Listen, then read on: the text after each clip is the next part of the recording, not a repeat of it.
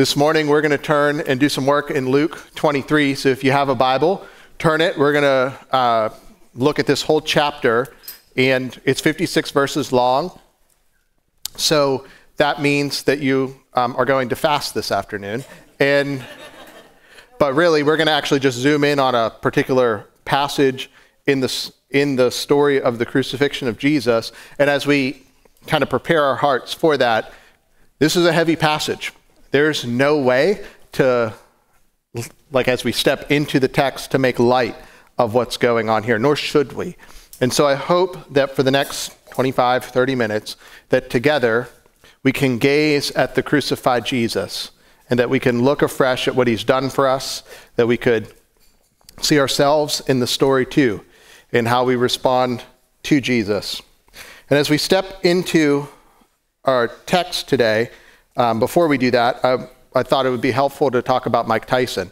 And Mike Tyson's known to have this quote that uh, if you may have heard it before. He says, Everyone has a plan till they get punched in the mouth. And you know, when you think about boxing, you go and go in with your plan, you know your opponent, and and it goes well until you get that first punch in the face, and then you have to adjust footing. And life has a way of doing the same thing, right? We wake up each day, we have a plan for how the day is going to go. At least I do. I, I, I'm an idealist sometimes, much to my own dismay, where I think, like, here's the day, here's how it's going to work out. But as you know, rarely does a day work out exactly as you have in mind. You wake up in the morning, you might have just didn't sleep well the night before, or your kid wakes up and they have a fever, and all of a sudden your plans for work change. Or your boss calls an extra meeting when you've already had a day full of meetings, or your teacher gives you more homework. Life has a way of throwing punches at us, and life has a way of throwing punches at us and more than just like the, the day-to-day schedule changes, sometimes life has a way of made, throwing major curveballs at us, uh, sicknesses, hardships, financial hardships, so on. In, in those moments, I don't know about you, but in those moments when life throws hard things at us, when things are, are difficult, when whenever the plans change, it has a way of kind of bringing out what's inside of us. And I don't know if, if you experience the same thing, but I don't do super well with major schedule adjustments um, that are outside of my control. I like to be um, the captain of my schedule, which is uh, can be difficult sometimes. So when so when a major change comes or a curveball comes, sometimes my reaction can be anger. Sometimes it can be increased anxiety because I can't control it. Sometimes I can feel my stress levels just kind of go up here, and the things I really need to do kind of get pushed out, and I end up doing things that I don't think are as important. And what about you? When, when life throws at you hard things, how do you respond? When life pushes you to the, to the edge of yourself, what comes out? Sometimes we really see the ugliness of our own hearts when we're kind of pushed to those things. We kind of discover that maybe we're not as reliant on God as we should be. Maybe we're not as dependent on the Holy Spirit for help in our difficult circumstances whenever we're kind of pushed to the edge of ourselves. And last week in Elliot's really excellent sermon, if you haven't listened to it, go back. He kind of talked about, you know, kind of sicknesses in his house, kind of kind of pushed him to a place where he needed to choose to be dependent on God. And today I want to kind of take a similar theme and I want to keep going with that. And I want us to look at Jesus and as he's pushed to the very, very, very edge, what comes out of him?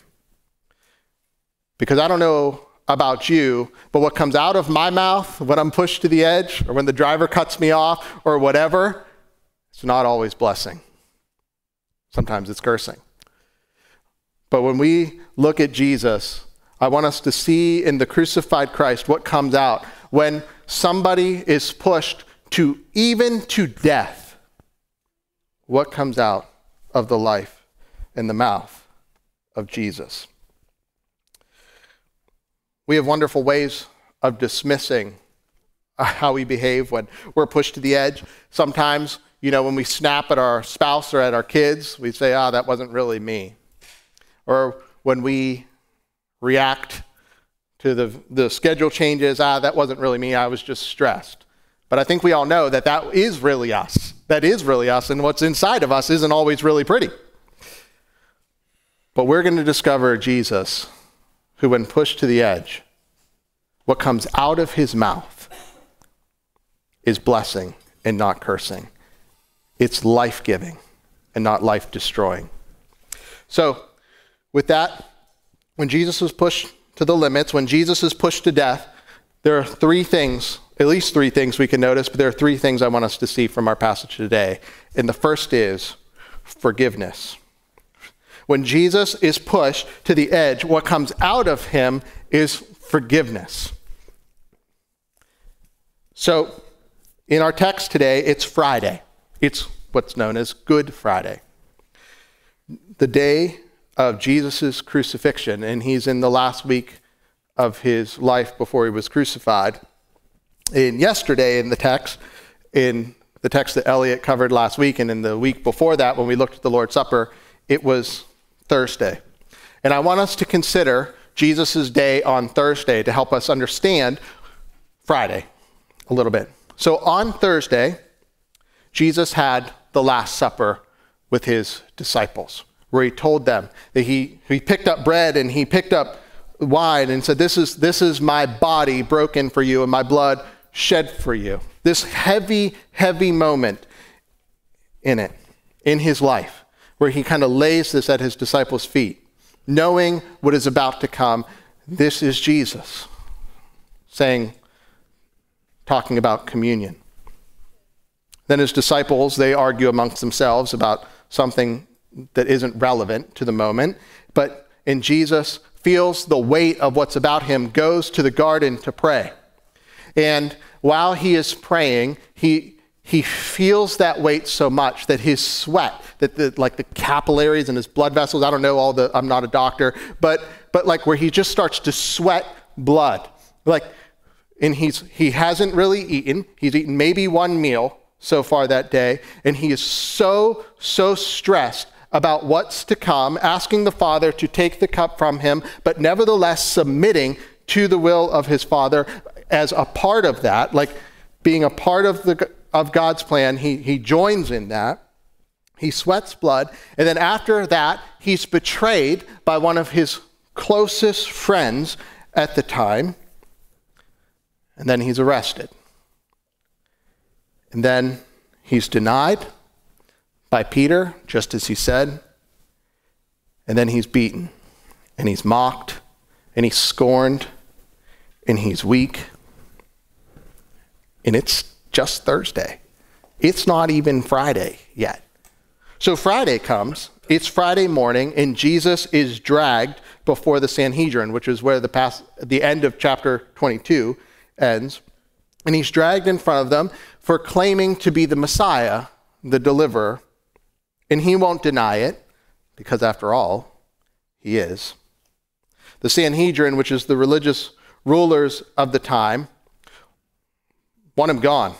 They ship him to Pilate, which is this kind of Roman governor. He was a man in authority, he's a Roman official, and they bring up charges about him. Um, you can look up in, in verse 2, they claim that he was opposed paying taxes to Caesar. And if you've been with us in Luke, you'll know that Jesus uh, told his told people to render under Caesar's. What is Caesar's? So the religious authority trump up charges. And Pilate asked Jesus, if you have your Bible open, I hope you do. Verse 3 Are you the king of the Jews? And he, Jesus, just answers him, You say so. Pilate then is like, tells the chief priest, tells the crowd, I find no reason to convict this man. I find no reason to put him to death. So Pilate tries to just pawn him off on Herod realizing that Herod, who is this other leader at the time, he ships him off to Herod. And Jesus, he's, he's weak, he's tired, he's been sweating blood, he's hungry, he's been beaten, goes off to Herod.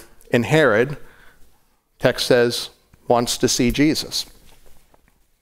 And If you have your Bible, verse 8 Herod was very glad to see Jesus. For a long time, he had wanted to see him because he had heard about him and was hoping to see some miracle performed by him. Herod doesn't really care to believe in Jesus, he just wants to see Jesus perform some trick. And Jesus won't give in to Herod's demands. He won't even answer Herod, just accepting him. And so Herod has him beaten and so Jesus standing there, bloodied, bruised, then he's mocked and beaten again. He's dressed in cloth- purple clothing and shipped off back to Pilate. It's Friday, still Friday morning. And Jesus, when sent back to Pilate, Pilate can't find a reason to condemn Jesus. And I would encourage you to take some time today and just reread this whole story here, and the crowd demands that Barabbas be released and that Jesus be crucified. Now, Barabbas was a terrible person. He was an insurrectionist, he was a murderer, and he was somebody that looked a lot closer to what they thought the Messiah should be than Jesus. And they demand that this lawless man be released and that this innocent man, the Christ, be crucified,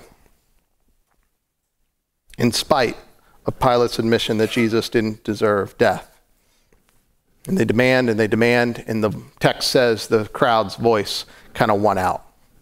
Pilate gives in and he hands Jesus over. They send him to be crucified, call a man, Simon of Cyrene, to carry a cross behind him and then drop your eyes to verse 32. Two others, criminals, were also led away to be executed with him.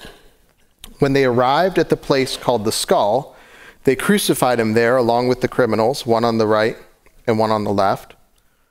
Then Jesus said, Father, forgive them, because they do not know what they are doing. And they divided his clothes and cast lots. This is Jesus, pushed to the very edge, hung on a cross. In the words that come out of his mouth, Our Father, forgive them. They don't know what they're doing. Jesus, when pushed to the very edge of life itself by people who did horrible things to him, mocked him, beat him, conspired against him, an innocent person. What Jesus says isn't, Father, condemn them, isn't, Father, destroy them. It's, Father, forgive them. They don't know what they're doing. Most of us, when pushed to the edge, we crack. We want justice. We demand, like, things be right. We want our own way. But when Jesus gets pushed to the edge, when Jesus is, is a victim, when Jesus is the sufferer among sufferers, when Jesus is there, he cries out, Father, forgive them.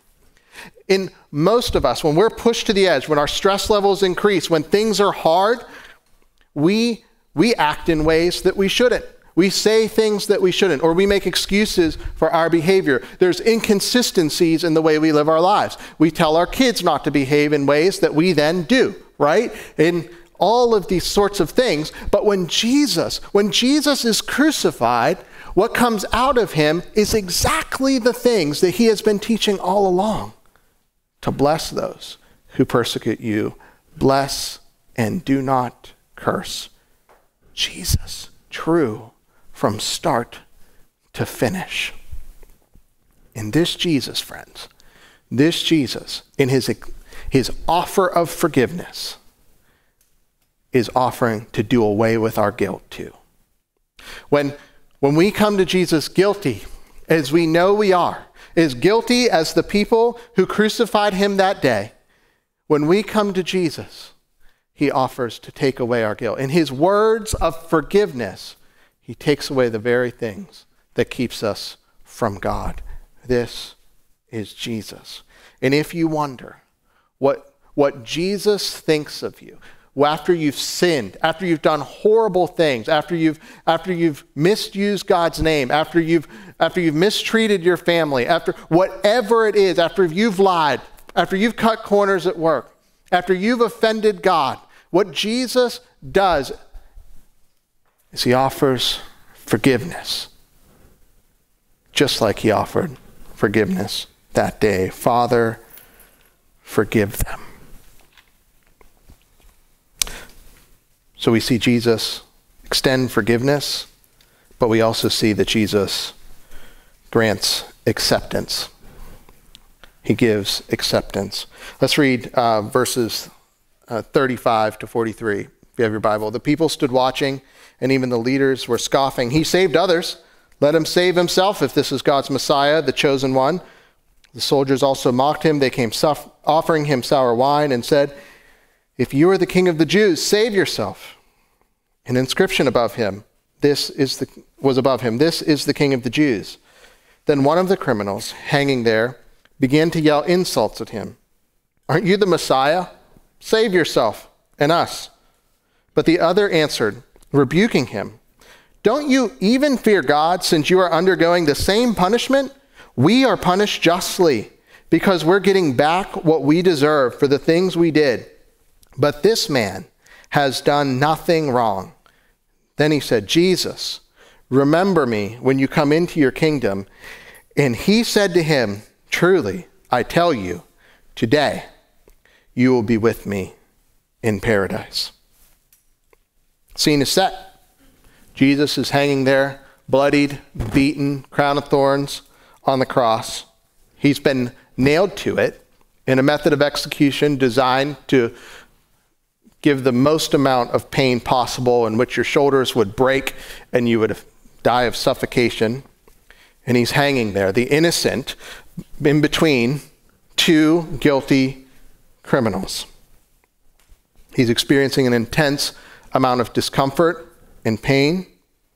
And there's an inscription above the cross behind him. It says, This is the King of the Jews, which is ironic because he is the King of Kings after all. And this innocent one is crucified among the lawless ones. He was counted among the lawless. One of the criminals is so miserable that he can't help but mock Jesus. If you're a king, save yourself us. Jeers at him, pokes at him, which is pretty remarkably awful. And then the other criminal pipes up on the other side of Jesus and says, We're deserving of this. This man is innocent. Don't you fear God? And he cries out to Jesus Jesus, would you remember me when you come into your kingdom? And what does Jesus do? Jesus offers forgiveness. You may have known people that have had deathbed conversions where they've kind of gone their whole life rejecting Jesus, and they've then, at the end, placed their faith in him. You may you might know, I know some people like that. And this is this guy's deathbed conversion. And note that what Jesus tells the guy is like, dude, my ministry has been isn't dude, my ministry has been going on for three years. Why didn't you why didn't you believe then? He doesn't tell the guy, it's a little too little, too late. No, he offers the guy pure assurance. Today, you will be with me in paradise. Jesus gives acceptance. There's this video floating around the internet of Alistair Begg, who's a pastor out in um, Chagrin Falls, Ohio, talking about this passage. And it's so good that I, um, I'm just going to use his illustration. So this isn't mine. Uh, you can look it up later on YouTube. It's called The Man on the Middle Cross. I would encourage you to do so. He's got a great Scottish accent. It's more interesting than mine. And, anyways, he talks about like this guy. This guy, he's he's never been in a Bible study. He's never been baptized, never joined a local church. He never went through like confirmation. He he never like read systematic theology. He never went to Sunday school, never any of it, but he made it. He made it to heaven. And Begg talks about, I think it's so fun um, to think about. It's like, imagine this guy. He gets up to heaven, like he dies just a few moments later, and he's there. How did he make it? He, he's there, he has no clue what's going on, he's never been taught anything. And an angel comes up to him and says, Well, what are you doing here? And he's like, I don't know. And the angel's like, Well, what do you mean you don't know? He's like, I don't know. I don't know. He's like, Well, but you, what, how do you not know? Let me go get my supervisor angel. So the guy go gets his supervisor angel. Supervisor angel comes over and says, um, sir, sir, do you, do you believe in the doctrine of sola scriptura? And the guy says, I don't know what you're talking about. It's like, what about the doctrine of justification by faith alone, through grace alone, by faith alone, in Christ alone, to the glory of God alone? It's like, guys, like, I never heard of it before in my life. And the angel just stares and says, Then on what basis are you here this morning? And the man responds, The man on the middle cross said I could come. And Begg points out the beauty of that statement, that that's the only answer that matters, because there is this propensity to think that we can contribute something to what Jesus has already done for us, that we bring something to the table, that if I just get my beliefs in the right order, that if everything is perfect, that if my life looks a certain way, that if I do all the right things, then, then God will accept me. But that's not the message of the gospel. We can't add anything to it. We don't we don't get entrance into the kingdom of God by what I do because I, because I had faith, because I believed in Jesus, because I was baptized as a kid. We get entrance, as Begg points out in the video, as, as is clear in our text today, because he died for us. That while we were still sinners, Christ died for us. Jesus offers acceptance. And so, if you're here and you're new to this whole faith thing, Maybe you're not even, maybe you wouldn't even consider yourself a Christian. You're wondering, like, at what level you have to reach to be accepted. You need not look past a bloody cross where Jesus offers forgiveness to a criminal and says, Today you'll be with me because Christ is enough for you. You don't have to learn enough things, Christ is enough for you for those of you who've been following Jesus a long time, you've been, it's really easy to start looking at your spiritual resume, your CV, and say, like, I'm a community group leader, I help lead worship team, I read my Bible every day, I, whatever the list of things is, I understand, like, infra, infra and supralapsarianism. and if you don't know what those are, don't look them up, it's a waste of your time. Um, but but, or I, I, like, I can pull up all of my things and say, like, I'm a, I'm a pretty good Christian.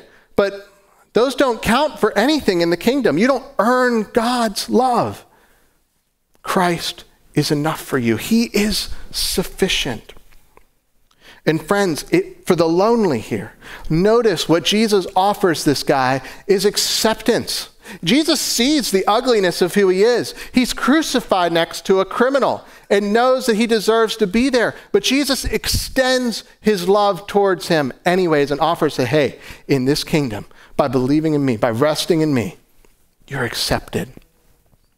And friends, there's not different tiers to this kingdom. We come into following Jesus together, and God puts us all on equal standing, and He invites us into a family. Jesus' acceptance cures our loneliness because He gives us Himself and He gives us a family. Jesus, when pushed to the edge, when mocked and scorned, He offers forgiveness, He offers acceptance, and He displays submission. Verses 44 to 49 says this It's now about noon, and darkness came over the whole land until three o'clock, because the sun's light has failed. The curtain of the sanctuary was split down the middle, and Jesus called out with a loud voice, Father, into your hands, excuse me, I entrust my spirit. Saying this, he breathed his last.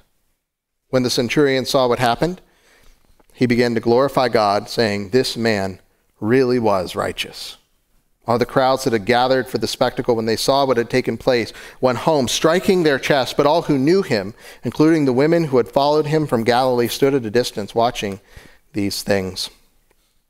It's noon, midday, the time we're approaching now.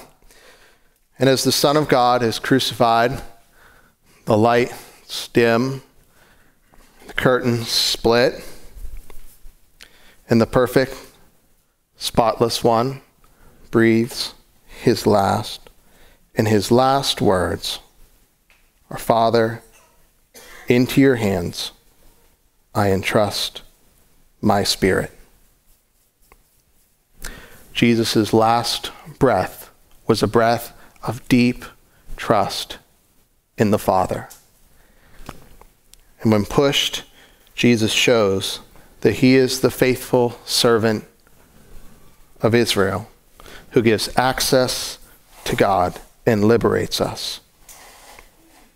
Jesus fully entrusts his life in the darkest moment in history to the Father as he bears the sins of the world upon himself, as he offers forgiveness and acceptance, as he bears the wrath of God, he, off, he entrusts his life to God.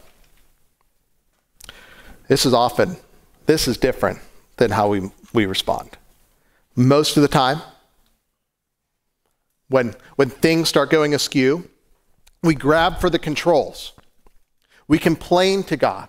We, we find out all the reasons God shouldn't have done something, all the reasons that we shouldn't be experiencing this. And we just, we get angry, we get upset, we get tired, whatever it might be. But Jesus, when he is pushed to the edge, perfectly entrust his Father. It's amazing. So amazing, in fact, that we see the response of the centurion. And it's really easy to kind of read past this guy because we're so familiar with the story. But I want us to think about that centurion for a minute. He would have been Roman, so he would have been a Gentile. He would have, he would have been a pretty hardened dude. He was probably the guy that physically nailed Jesus to the cross. He was, he would have perhaps participated in multiple crucifixions that week. Maybe, I don't know. Maybe he was the guy that, like, the crucifixion guy. That was his job. He was like the dude we see in movies with the black hat and who pulls the guillotine or chops the head off or whatever. Maybe that was this guy. But he was probably the guy that literally put the, drove the nails into the hands and feet of Jesus or stuck the spear into his side. And after he hears Jesus offer forgiveness, offer acceptance to a criminal, and then entrust his life to God, the man steps back and says, Truly, this one was righteousness, was righteous. The first confession of the righteousness of Jesus after his death came not from the people closest to Jesus, but from the very person that would seem furthest from Jesus. Truly, this one was righteous. Jesus was innocent. Others other gospels say that truly this man was the Son of God. And friends, when you push Jesus to the limits, when you push him to the very edge of his own life, what comes out is that he is the faithful servant who liberates us through his sacrifice. In friends, Jesus came, we know from the gospel of Luke or from other places, the, the thesis statement is that Jesus came to seek and save the lost. He came to announce good news to the poor, proclaim liberty to the captives, to, to sight to the blind, to set the oppressed free. And when we get to it, Jesus does just that through his sacrifice. He offers forgiveness of sins, acceptance into his family, and freedom from ourselves so we can submit our lives and entrust our lives to the Father, the same Father that Jesus entrusted his life to. Jesus came to seek and save the lost. And if you have your Bible open, I think one of the interesting things is to pull up to 30,000 feet, go back to chapter 22, and look at all of the people who are gathered around the cross that day. You have the apostles, you have a group of faithful women, you have Pilate, you have the Sanhedrin, you have the religious elite, you have the Roman elite. You would have had poor people in the crowds.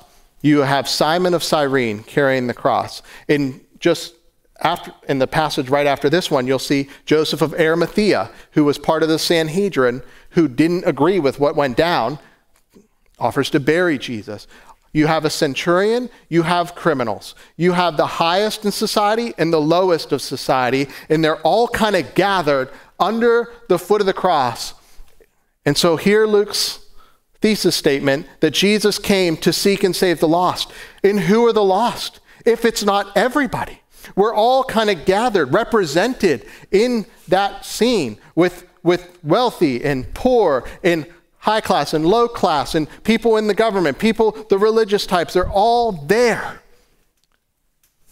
And the first person who submits to Jesus is a centurion who crucifies him. And I want to ask, what have you done with Jesus? Have you looked at the man on the cross who offers forgiveness to his murderers, acceptance to the far from him, and entrust his life to God? Have you looked at him and seen everything he's done for you, how much he has freed you, and how much love exists in him? He is the servant. He is the one who lived the life that we could not live. And he shows through his death that that, that, that life went even into his death. And it was through his death through his resurrection, which we'll talk about next week, that we're liberated and freed to know God. At the beginning of the Gospel of Luke, there is uh, Mary was visited by an angel, and she was told that she would bear the Messiah. And she responded with a song. And the song was from the Magnificat. Here's a section of it. In this, in this passage is fulfilled all the way back here in Luke 23. From Luke 1, Mary said, He has done a mighty deed with his arm. He has scattered the proud. Those religious leaders, the Roman leaders, Jesus has scattered them because of the thoughts of their hearts. He has toppled the mighty from their thrones and exalted the lowly. Anyone can have access to this kingdom. You think that power gives you something? It doesn't in the kingdom of God. Jesus toppled all of that and he's exalted the lowly. He has satisfied the hungry with good things. He set the rich away empty. He has helped his servant Israel, remembering his mercy to Abraham and his descendants forever, just as he spoke to our ancestors. Jesus' sacrifice, the liberating king, does this. He is a fulfillment of what Mary said way back in chapter 1. He is the liberator from sin, and he can liberate you from your sin. And if you've believed in him, he's offering you full forgiveness, full acceptance, and a life lived trusting in the good plan of God. And I pray that you would see and behold that risen, that crucified Christ, and think of his resurrection, that he would put your greatest enemies to rest, death itself. Would you pray with me?